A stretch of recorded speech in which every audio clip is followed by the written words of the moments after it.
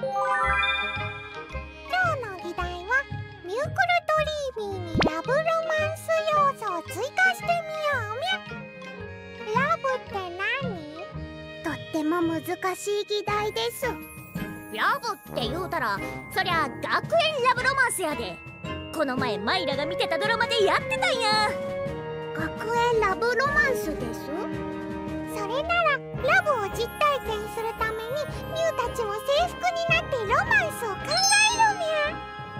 ゃ形から入るです。